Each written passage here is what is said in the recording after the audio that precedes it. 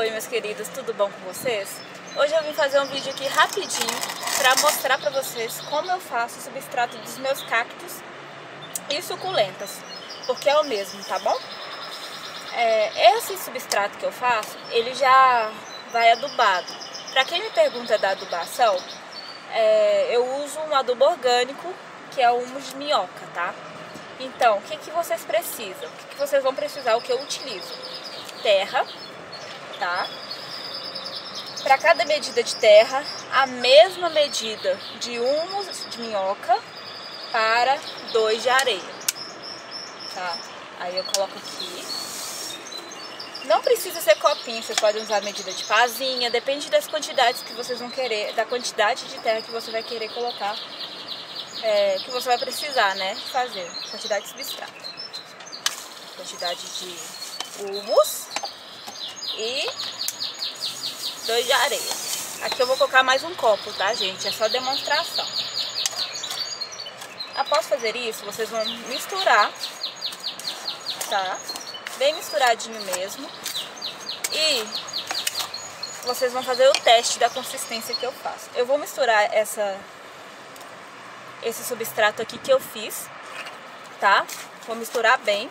E daqui a pouco eu volto para mostrar para vocês como ele tem que ficar, tá? Porque o substrato de cactos e suculentos não pode ser muito argiloso.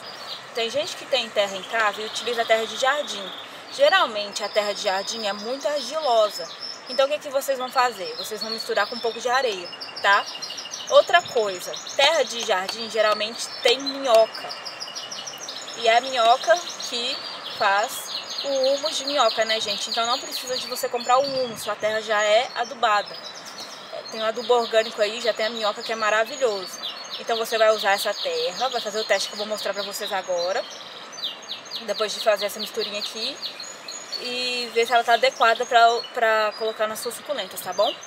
Então eu vou misturar aqui e, e já volto. Oi gente, voltei aqui com a minha misturinha, tá? É assim que tem que ficar mais ou menos, é, realmente é arenoso. Esse substrato eu uso muito para os meus cactos.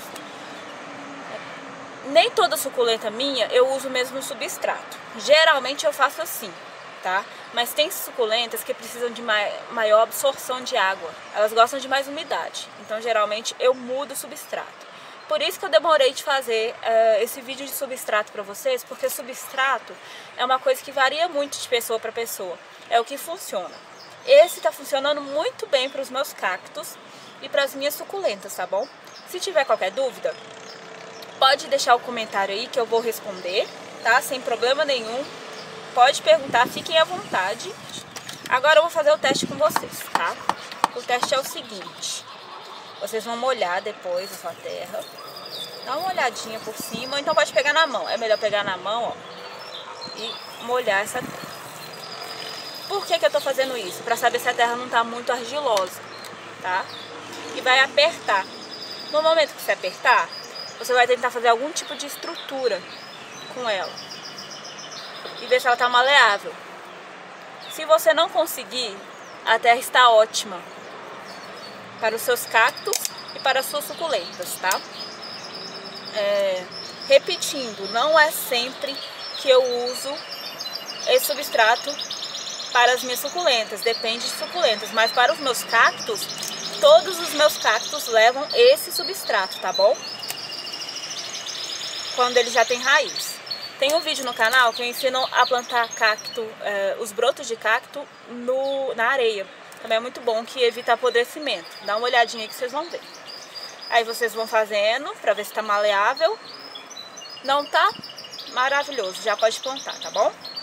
Então é isso. Essa terra já é adubada, ela é bem aerada, ótima para plantar e ótimo para plantas, principalmente cactos que ficam no tempo, tá? Seu cacto fica no tempo, maravilhoso. Ele vai uma substrato, penso eu. As quantidades direitinho eu vou deixar aqui embaixo, tá? Quem não conseguiu pegar direito as quantidades enquanto eu falava, vai estar tá aí embaixo, tá? Eu vou deixar a quantidade de terra, a quantidade de humus e a quantidade de areia. Então é isso, gente. Espero que tenham gostado. Se gostou, se inscreve no canal, curte, compartilha e até a próxima. Fiquem com Deus. Deus abençoe a semana de vocês e muito, muito obrigado por estarem comigo.